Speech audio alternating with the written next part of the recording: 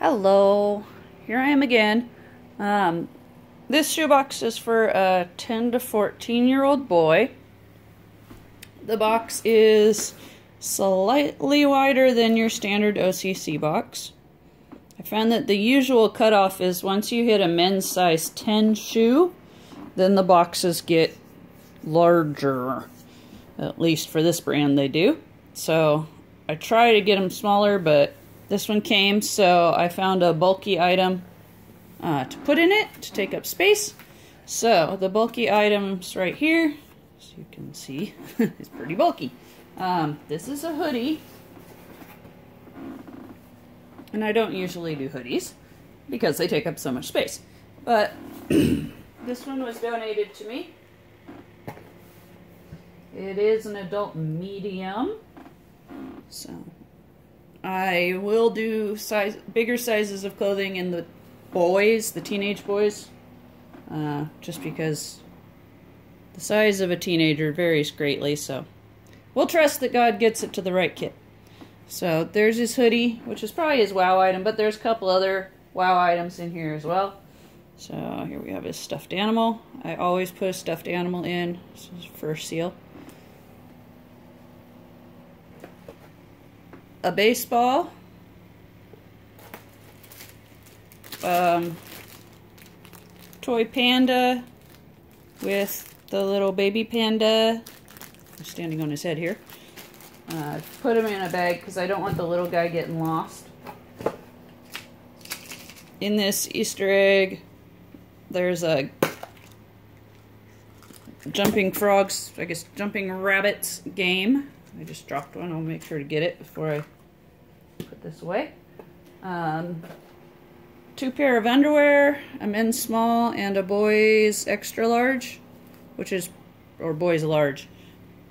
Um, men's small is a size 28 waist, so it's basically a boy's extra large anyway. So I put those in. Uh, I had to sew a couple of drawstring bags here for some of the things with small pieces. So this one is Legos. There's more in there. I'm just not going to dump them all out right now. And the second one here is for uh, mini Jenga game. I've left it in the plastic wrap so they can see how it's assembled. Um, but then I've also given them the bag to keep the pieces in once it's out of the plastic. Uh, one of the gals this morning commented on another one of my videos oops, that even if they don't know how to play Jenga, um, they could use them like uh, dominoes to set them up and knock them down. They could use them to uh, build with, make little cities or their race cars or something like that which he does have a couple of cars in here. So two different Hot Wheels. It's like the 80s, man. Cool. Um, so you can use them for that as well. Alright, then I have also last toy, a fidget spinner. These are the ones that come from Raymond Geddes. So when they have their 50% off sales, which are quite often, they're 45 cents if you buy them uh, by the dozen. So I've done that. And some chapstick. Toothbrush and a comb. And soap.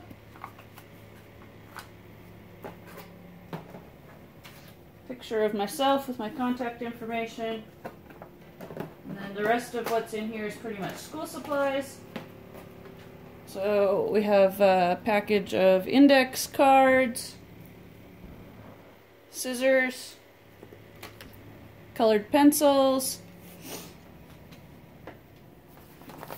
pencil case, inside the pencil case. We have a protractor, sharpener, pencil top erasers, blue and black pens, uh, glue sticks. There's many, many, many erasers in there. This whole side is pencils. There's like eight pencils and there's a small ruler. So he's pretty set there for math or school. Oh, and in the bottom too, there's there's crayons hiding in there.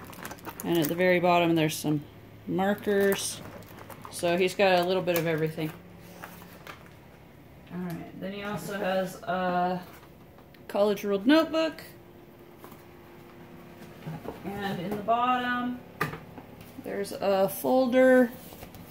And in the folder, uh, have a maze, a smelly bookmark, a coloring book, and I think there's some stickers hanging down in there too. So, um, that's what I have here for this 10 to 14 year old boy. So if you have any comments or questions, feel free to leave them below. Thank you for watching.